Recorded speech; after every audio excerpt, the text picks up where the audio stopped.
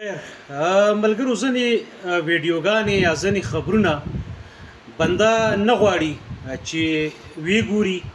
یا ور باندې وغږیږي خو مجبوری شي مخې ته راشي او بیا خبره ور باندې خامخا بنده خپل اخلاقی انساني ذمہواری ګڼي په رینګ روډ پیښور کې چرته یو ماشوم گاډي وهلې دی یا به زخمی او یا به مړی بهر حال ډرایور مقامی کسانو را ایثار کړی دی او ډیر زیات له لهان کړی دی او بیا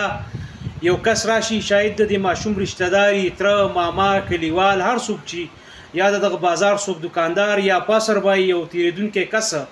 او هغه یو غټ کاڼی راوالي دا ډرایور هغه سر ته راخلاص کی او مړ کی دغه ویډیو بهر حال د کتو نه ده د لګولو نه ده تبصره ور باندې مې زکه مختصر غوندې لازمی ګڼم چې موږ دومره حیوانانو غوندې ژوند کوو ډرایور دی لایسنس سره نشته په غلطۍ کې ماشوم هو خراب ډرایوینګ یې کو ورټیک یې کو غلطي یې کوله جرم یې کو دلته قانون نشته دلته انصاف هم نشته خو بیا هم زمونږ په ریکشن کې په غوسه کې په خفګان کې دومره د حیوانیت نه ډک سلوک چې کوم دی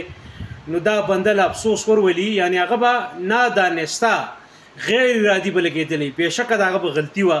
بېشکه هغه به ګناهګار و بیشکه هغه سره به ډرایوینګ لایسنس نه و بیشکه هغه به صحیح ډرایوینګ نه کو بیشکه هغه به په انصاف نه رسېدو هغه به دیت نه ورکو هغه به بیا جوړ جاړی نه کو هغه به سرکار جیل ته نه لیږه هغه به پولیسو له یعنی شل ازمپشن ته اخیستی شي فرض کولی شي خو کله هم دا نشي جسټیفای کولی به حیثیت یو انسان چې تا یو ژوندی کس را ایسار کړی دی د سړک د پاسه او سر ولا په کاڼو ولي او په هغه ځای مړ کړي نو دا د حیوانیت نه ډک سلوک دی زده کړه پکې دا ده چې کله هم خدای مکه خدای مکه داسې راځي د په هر انسان واقع چې دا به تیرول ډیر ګرانی خو د انسان سره همیشه کاغه دشمن ولې نه دی کاغه په غلطه ولې نه دی هغه سره انساني چلن پکار دی کاغه له سزا ورکول ولې نه دی کاغه د سزا حقدار ولې نه دی کاغه لوی مجرم قاتل ولې نه دی خو هغه په یو مهذبه طریقه باندې ټریټ کول پکار دي زما یقین دی ډرایور به کلم دا زړه نه و دا به ارادي تور ماشوم نه وجو دا یو غیر ارادي څوک دا جسټیفای کولای هم نشي کیږي حادثات دا هم غلط خبره چې څوم چې کیږي با شوی دی بیا پکار د چې قانون منګول تو سپارل شوی وي څومره حد پورې انصاف کې دی شو هغه بشوي بیا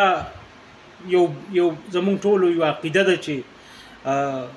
افټر ورډ د دنیا نه بعد به حساب کتاب نو دا ټولې خبرې